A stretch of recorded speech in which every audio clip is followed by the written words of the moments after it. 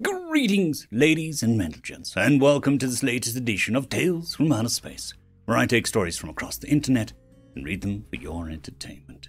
This particular story is called Humans Can Bond with Literally Anything, written by Random 3X. Clixus looked over the latest report from Species Resources, informing him that another human on the crew had shown bonding behaviors with other crew members this was, of course, against company policy. The last thing they needed was someone being distracted during an emergency because they were focusing on their bonded being rather than their duty. To help resolve the issue and further prevent all possible repeat, he had called in the head of human resource representatives. A short buzz rung from a near door to indicate the human had finally arrived.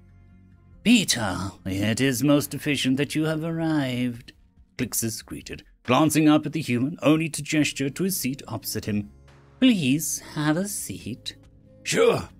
Uh, may I ask what this is about? Yes. It is regarding some uh, questionable behavior from the crew member that happens to be human. Oh, uh, nothing too bad, I hope. I hope not. We were hoping to nip it in the bud, as your dirtling expression goes. Here is the SR report. Handing the data slate to the human, Clixus waited for Peter to read the document. Okay, I'm gonna need some help here. Can you please elaborate on what's wrong here? What's wrong? Clixus parroted in disbelief. Even a no-eyed Vermulian would clearly see the issue. The human has been exhibiting bonding behaviors, which is against SR policies. In response, Peter, to Clixus's surprise, tilted his head. Oh, uh, but there's nothing about sex here. Mating is not the issue here. The issue, Peter, is that they have formed an unnecessary bond. Clixus took a deep breath as his gland sacs had started to inflate, as how annoyed he was becoming. All I see is they became friends. Clixus clapped his hands together, pleased the conversation was finally in the right direction. Exactly. They have bunted, and it is against policy. You are aware of the special dispensation given to our race, right? Yeah, of course. I have read the details.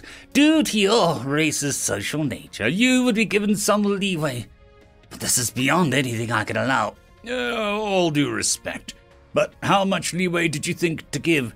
I had decided to allow human crewmates permission to spend no more than five minutes of their personal time communicating with their own race, not others. Uh, that's way too little. We are far more social than you seem to believe. Peter, I will not allow my authority to be questioned here. Have your race control the unnecessary bonding. Otherwise, I will raise the issue with corporate. I can't do that. Clixus felt his gland sacs threatened to inflate again, with the flat denial. And why not? Simple. I can't override a human's ability to bond. I think you really are underestimating how quickly a human will bond with anything. Yeah, I highly doubt that, Peter. I assure you, anything you could find, there will be a human that would bond with it. Seeing Peter continue to refuse to back down, Clixus clicked his tongue as an idea struck him to test Peter's assertion. Very well. How about we put it to the test? I shall prove you wrong with an experiment. An experiment? Yes, an experiment. We shall place, Clixus paused as he looked around the office, this waste paper receptacle, place it in a human hab zone, and we'll see if they bond with it. In response, much to Clixus' surprise, Peter had a smile grow on his face. May I make a few additions to the bin before we start? What additions? Two simple things. I'll draw a pair of eyes on the bin and stick a name tag with a name you choose on it. Seeing no way a race could be so intensely social as to bond with a literal inanimate object, Clixus nodded his assent. He watched as Peter, using a pen, draw a pair of large eyes onto the bin's surface. He then stuck a name tag with Benjamin on it a name so absurd that Clixus knew no sane creature would form a bond with it. So, we are agreed that you will relax the rules to a more human degree if the human crewmates actually bond with the spin. Yes, but you cannot influence them. If I catch wind of you revealing the purpose of this experiment, the results will be void, and corporate shall know of your obstinance. Peter nodded, only pausing to mutter, Kettle, pot. Clixus was currently beside himself with confusion. His grand experiment had entirely backfired on him within a very short period of time. The humans in their hab had taken to affectionately treating the bin with eyes drawn on it, in one instance punishing a more troublesome crew member who had kicked the bin over. Never in his wildest dreams would he have ever believed humans would bond with an inanimate object. When Peter had shown up looking smug, Calixus had decided to double down. The ship would be making port with Grumdo Station, a system home to hand sized eight legged hunter animals. He had made sure to have one brought on for experiments and released it into the human hab. Seeing many of the humans flee, he began to feel vindicated only for that vindication to collapse when a man from the dirtling land mass known as Australia picked it up and gave it a cute little pet on its head, saying, Oh, you're a big beauty.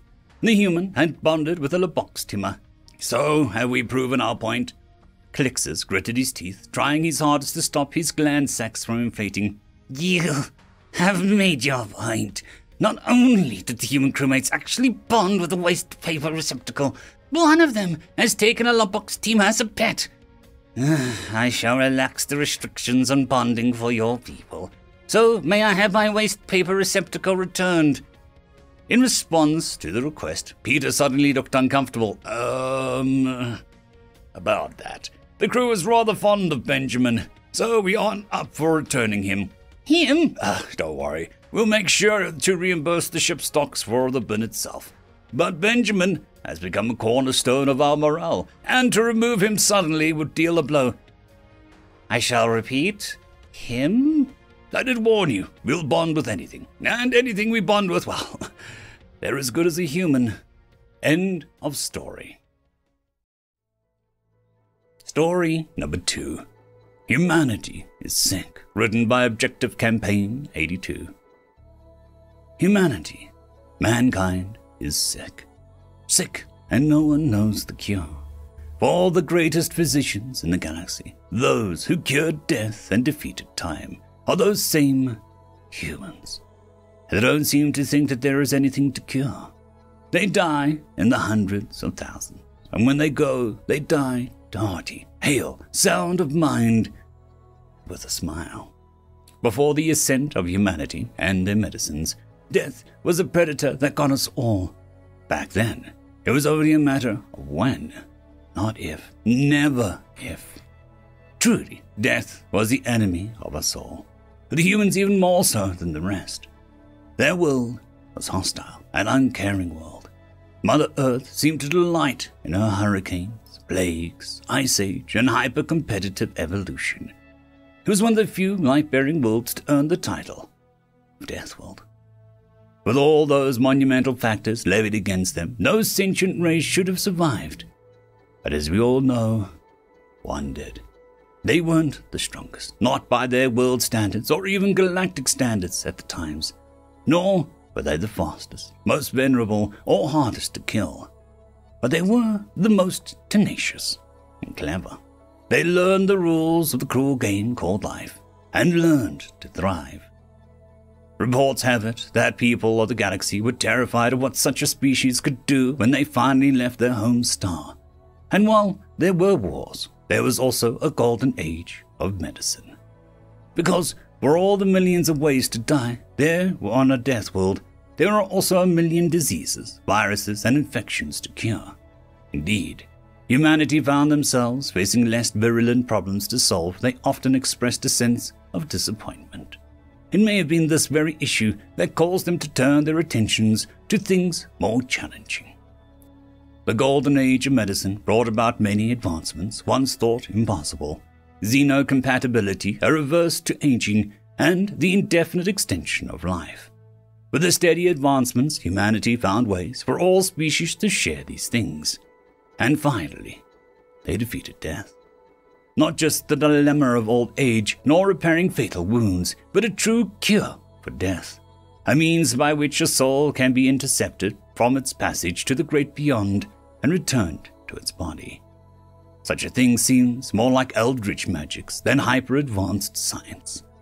But as living proof of this, I, a person from the tail end of the golden age of medicine, have lived for over 19,000 standard years and returned from death 26 times.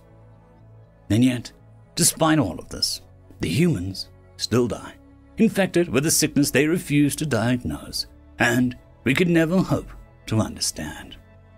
This year, my 19,117th year of life, 2023 years in this current incarnation, my long-time human partner has passed. After four millennium together, exploring, learning, laughing, and occasionally arguing over taking out the trash, she left me.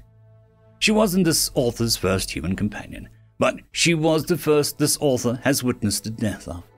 She had all the signs a soft, constant smile, a look of complete peace in her eyes several months before her death, and the talks of fulfillment.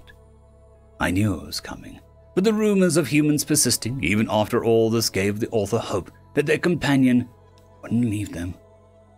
But one day, an inauspicious day, she said, It is time. She professed her love, her joy at meeting me, and bid me to continue on without her. But despite the tears and begging, nothing would change her mind. She went to sleep and chose never to wake again. What madness is within the hearts and minds of mankind that they could ever be at peace with the non existence of death? They were the ones to pierce the veil and tell us that there was nothing beyond it. No gods, no afterlife, just energy changing form.